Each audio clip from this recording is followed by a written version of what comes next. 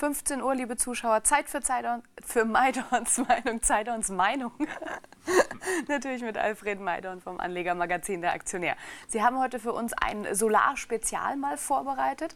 Wir haben auch schon den Chart von Canadian Solar aufgerufen. Da muss man sagen, da sind die Zahlen ja eigentlich moderat ausgefallen für das vierte Quartal. Aber es gab dann, man hat direkt noch hinterher eine Nachricht geschoben. Und zwar möchte man einen Teil des Solarparks jetzt in einer sogenannten Yieldco betreiben. Was genau bedeutet das? Ja, das äh, war so ein bisschen versteckt in den Unternehmenszahlen, hat man äh, gemeldet, dass man jetzt auch eine Yieldco machen möchte. Das hatten ja schon First Solar und SunPower vor glaub, zwei Wochen bekannt gegeben. Dahinter steckt, äh, dass man seine Solarparks, Canadian Solar macht ja nicht nur Solarmodule, man äh, baut auch eigene Solarparks. Bisher hat man diese immer komplett verkauft. Jetzt äh, will man einen Großteil davon behalten und den selbst betreiben, um Strom zu erzeugen, um dann damit Geld zu verdienen. Und das kommt natürlich gut an, weil das Geschäft natürlich sehr nachhaltig ist. Man kann mit Solarparks 20, vielleicht sogar 30 Jahre äh, Strom produzieren und äh, hat dann nachhaltige Erträge. Und wenn man diese Yieldco gründet und sie dann selbst an die Börse bringt, äh, dann steigert das den Wert des ganzen Unternehmens und daher auch die Aktie jetzt kräftig im Plus. Und äh, sie hat ja schon in den letzten äh, Wochen ganz ordentlich zugelegt. Wie gesagt, die Zahlen an sich waren in Ordnung, Umsatz etwas besser als erwartet, der Gewinn etwas schlechter. Aber diese Yieldco-Meldung, äh, die treibt den Kurs und dürfte ihn dann noch weiter nach oben treiben. Sie sagten es gerade schon, der Kurs ist ja jetzt schon recht hoch. Wir sind heute sogar über 6 Prozent im Plus. Wir haben aber noch nicht hier dieses Hoch aus dem September jetzt erreicht. Das hatten wir ja bei 32,62 Euro. Sollte man jetzt noch ein bisschen warten auf einen Rücksetzer oder sagen Sie, nein, das könnte hier durchaus mit dieser Yieldco erfolgreich werden? Ja, das wird schon. Ich glaube auch, dass die Aktie noch weiterlaufen kann. Ich glaube auch, dass wir dieses Hoch äh, noch rausnehmen werden im Laufe des Jahres, äh, weil die Bewertung eigentlich immer noch ganz günstig ist.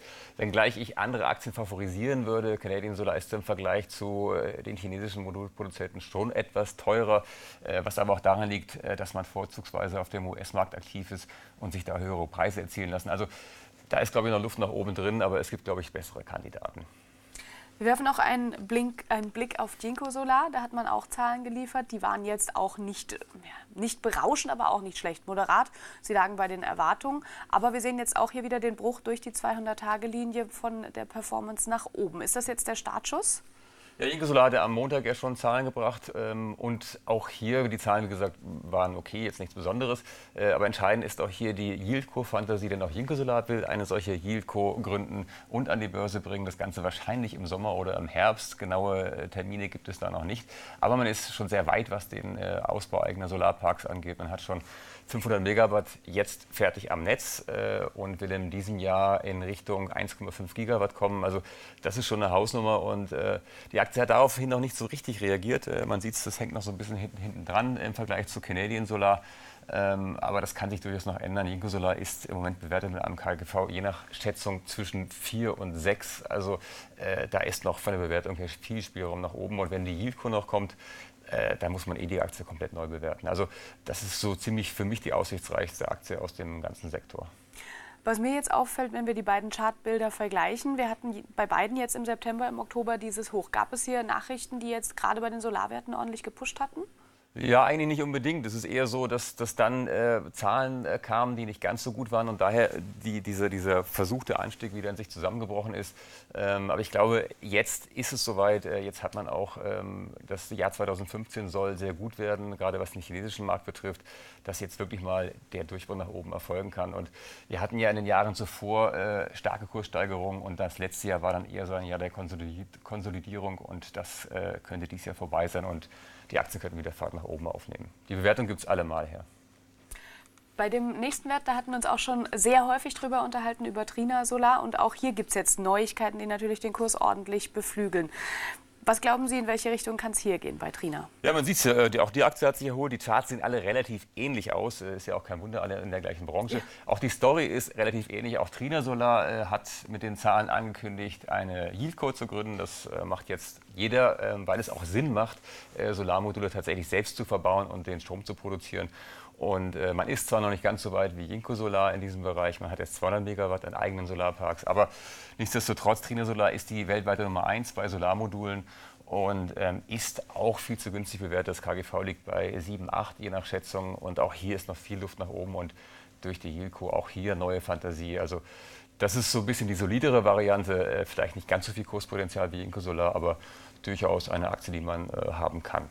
Wir hatten jetzt drei Solarwerte im Prinzip fast alle drei mit den gleichen Nachrichten. Es geht hier um eine Yieldco, es geht hier um dieses Ausgliedern und die Zahlen, die waren so, naja, ich sag mal gerade so zufriedenstellend. Mhm. Wenn Sie jetzt Trina, Jinko und auch noch Canadian Solar miteinander vergleichen würden, was wäre Ihr Favorit?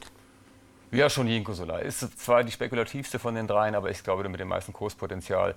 Äh, die anderen beiden sind auch sehr gut und haben auch viel Potenzial, aber Jinko Solar ist, glaube ich, sticht so ein bisschen hervor, weil da einfach die Bewertung am meisten hergibt.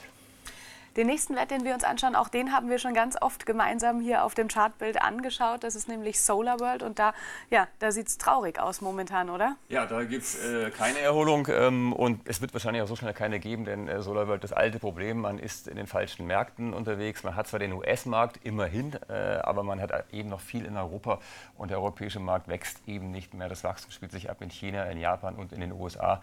Da kommt man zwar ganz gut voran, aber äh, das reicht eben nicht aus. Und man wird vielleicht dieses Jahr gerade mal so eine schwarze Null hinbekommen, während die anderen ja schon alle wieder kräftig Geld verdienen. Also das wird schon schwierig für Solarwelt und so auf dem aktuellen Niveau. Ich habe irgendwann mal gesagt, so bei 12 Euro ist die Aktie schwer bewertet. Ähm, da sind wir jetzt auch und ich glaube, das Potenzial nach oben ist hier relativ beschränkt. Äh, nach unten allerdings auch. Also im Moment Solarwelt weder Fisch noch Fleisch. Also da gibt es sicherlich oder es gibt auf jeden Fall spannendere Stories im Moment im Solarsektor. Ist es dann jetzt ja das sogenannte Negativbeispiel von den Solarwerten? Ja, wenn Sie sich den Kursverlauf anschauen, äh, sicherlich. Ich meine, man sieht hier, die 200-Tage-Linie kommt irgendwo von oben von 100. Äh, die Aktie war mal bei Split bereinigt, bei weit über ein paar tausend Euro. Also äh, da wird nicht mehr viel passieren, denke ich. Bei SMA Solar, da werden aktuell oder beziehungsweise es war ja schon jetzt Anfang des Jahres bekannt gegeben worden, man streicht einige Stellen. Man möchte natürlich hier die Kosten drücken. Und hier fällt auch auf, wir kommen hier auch von einem sehr hohen Niveau und sind dann im Prinzip im Frühjahr des letzten Jahres ordentlich nach unten gekracht, sind jetzt auch bei gerade mal 12,17 Euro angelangt. Ja, ist leider, äh, das war so die letzte deutsche äh, Solarerfolgsstory, äh, SMA Solar mit den Wechselrichtern. Man war und ist, glaube ich, immer noch Marktführer, aber das gleiche Spiel eigentlich. Man hat es einfach verschlafen, in die wichtigen Märkte zu expandieren. Man hat zu lange am europäischen und gerade am deutschen Markt festgehalten. Man hat jetzt Schwierigkeiten, in die neuen Märkte zu kommen, weil man auch mit den Kosten nicht mithalten kann. Auch im Wechselrichterbereich findet gerade ein Preisrutsch statt, der auf die Margen drückt. Darum ist SMA Solar auch in die roten Zahlen gerutscht und wird da dieses Jahr auch nicht wieder rauskommen. Und so langsam schmilzt auch der Cash-Bestand dahin. Also das sieht bei, Solar, bei SMA Solar alles andere als äh, gut aus.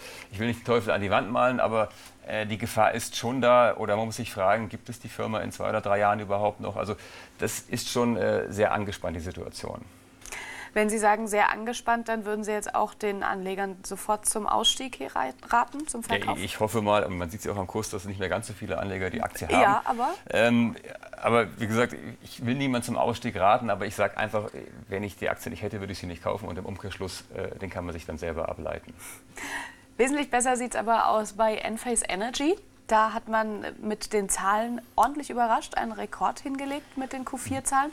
Und hier hatten wir immer wieder ordentliche Rückschläge gesehen. Also gut, man muss dazu sagen, es ist ja immer im moderaten Bereich noch geblieben. Aber jetzt gilt es natürlich auch wieder Anlauf zu nehmen und hier vielleicht auch wieder Richtung 14 Euro zu blicken, oder? Ja, also die Schwankungen waren schon eigentlich enorm. Also von 14 wieder auf 10, äh, dann wieder auf 12. Also äh, es ist halt so, NFS Energy ist ein recht junges Unternehmen. Äh, man wächst aber extrem stark. Man äh, ist auch im Wechselberichterbereich unterwegs und gerade in den USA kommt man hier unheimlich gut voran.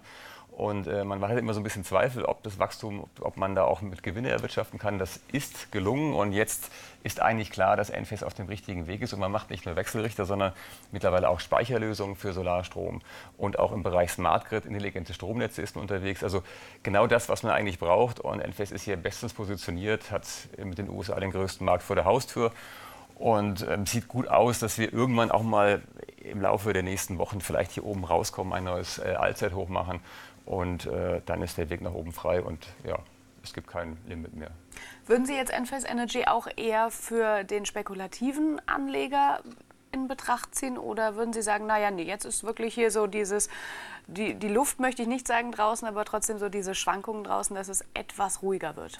Also grundsätzlich ist ja die Solarbranche spekulativ, äh, egal welche Aktie Sie jetzt da nehmen. Also für, für den äh, Anleger, der sonst nur Procter Gamble und McDonalds im Depot hat, ist das sicherlich nichts.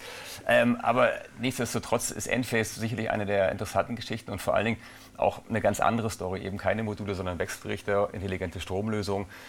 Vielleicht schon etwas solider als die Modulhersteller und äh, das ist eine echte Wachstumsstory. Also finde ich eine schöne Geschichte. Sicherlich, man muss so ein bisschen spekulativ eingestellt sein. Klar.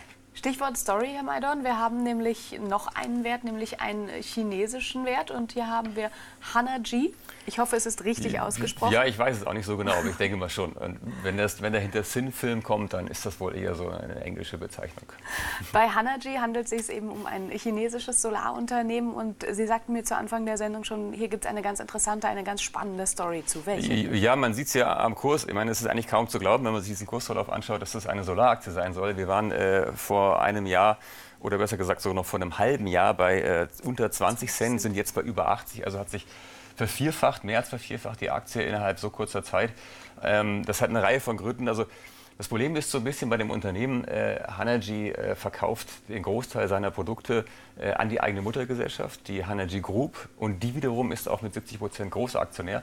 Also das ist so ein bisschen, äh, ich will nicht sagen Inzest, aber so in die Richtung geht's. man bleibt, es bleibt so alles äh, in, in, einem Bereich. Und man hatte, ähm, das war so ungefähr vor ein paar Wochen, hatte die ähm, Financial Times und auch einige andere äh, Zeitungen berichtet, dass da mit den Bilanzen irgendwas nicht stimmt, dass man da Sachen bucht, die gar nicht existent sind, weil es ja auch gut möglich ist, wenn man alles äh, im eigenen Firmenkomplex mhm. macht. Und daraufhin hatten wohl viele Anleger die Aktie leer verkauft. Und da die Stückzahl auch sehr gering ist, kam es dann hier in den letzten Tagen zu einem Short Squeeze der die Aktie so nach oben getrieben hat, äh, was zur Folge hatte, dass jetzt Hanergy bewertet ist mit fast 30 Milliarden Dollar. Das ist äh, ungefähr fünfmal so viel wie First Solar, die äh, größte US-Solar-Aktie. Also das ist schon utopisch und ähm, hier kann man eigentlich darauf warten, bis das Ganze wieder in sich zusammenstürzt. Also dieser Kursanstieg ist eher ähm, gemacht als tatsächlich fundamental unterlegt. Aber trotzdem auf jeden Fall Sieht spannend gut aus. anzuschauen. Sag ich vielen Dank für, diesen, für diese Reise durch die Solarwelt, Alfred Maidon. Und liebe Zuschauer, ich hoffe, es hat Sie auch ein klein wenig erleuchtet und Sie sind auch beim nächsten Mal wieder mit dabei. Machen Sie es gut.